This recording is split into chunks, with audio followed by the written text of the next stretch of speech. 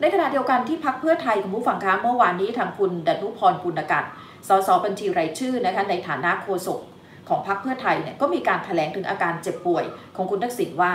จากการสอบถามอาการนะคะของคุณทักษิณกับทางคุณอุ้งอิงแผดทองทานหัวหน้าพักเนื่องจากภาพที่ออกมาเนี่ยทางคุณทักษิณมีการดามคอ คล้องแขน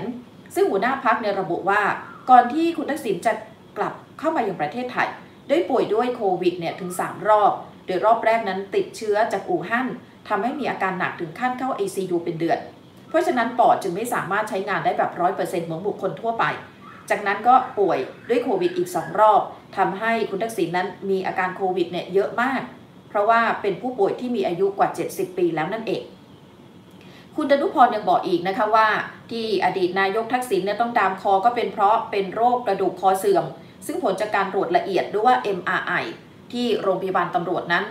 ทางโรงพยาบาลแนะนำให้เข้ารับการผ่าตัด ซึ่งก็เป็นไปตามวัย แต่ว่าคุณทักษิณเองก็ขอออกมาก่อน แล้วค่อยกลับไปรักษาตัวอีกครั้งหนึ่ง ส่วนกรณีคล้องแขนออกมาเนี่ยก็เป็นโรคเส้นเอ็นเปื่อยยุ่ย ต้องได้รับการกายภาพไม่ต่ำกว่า 1 ปี จึงจะกลับเข้าสู่ภาวะปกติ ซึ่งโรคนี้เป็นโรคที่เกิดกับผู้สูงอายุ และนะคะโฆษกพรรคเพื่อไทยยังบอกต่อไปอีกนะคะว่า ที่ทางคุณทักษิณเนี่ยหายช้าก็เป็นเพราะ ตลอด 6 เดือนที่อยู่โรงพยาบาลตำรวจเนี่ยแทบไม่สามารถจะออกกำลังกายได้เลยทำให้ร่างกายนั้นร่วงโรย เร็วกว่าคนที่ออกกำลังกายได้ตามปกติ ระหว่างที่รักษาตัวอยู่ที่โรงพยาบาลตำรวจ ได้รับการผ่าตัดเพื่อให้เส้นเอ็นนั้นเข้าสู่ภาวะปกติแล้ว เพราะฉะนั้นก็ขอฝากไปถึงหลายคนที่เป็นห่วงในอาการของคุณทักษิณซึ่งคุณทักษิณเองก็พยายามรักษาตัวแล้วก็พบแพทย์ตลอด เพื่ออาการนั้นทุเลาและก็กลับมาเป็นปกติโดยเร็วที่สุด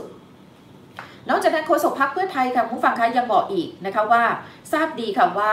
มีทั้งคนที่ชอบและจ้องจะจับผิด ก็ถือเป็นเรื่องปกติธรรมดา เพราะว่าเคยเป็นนักการเมืองแล้วก็เป็นอดีตนายก ก็จะมีคนพูดถึงทั้งในแง่บวกแล้วก็แง่ลบ วันนี้ขอสื่อสารไปถึงคนที่รักแล้วก็ห่วงคุณทักษิณรวมไปถึงครอบครัวของคุณทักษิณด้วย โดยยืนยันว่าคุณทักษิณนั้นมีอาการเจ็บป่วยและอาการหนักเนี่ยจริง จะพยายามรักษาตัวให้แข็งแรงที่สุดแล้วก็กลับมา เพื่อใช้ความรู้ความสามารถนะคะคอยแนะนำนักการเมืองที่จะทำทุกอย่างเพื่อประชาชนกันต่อไป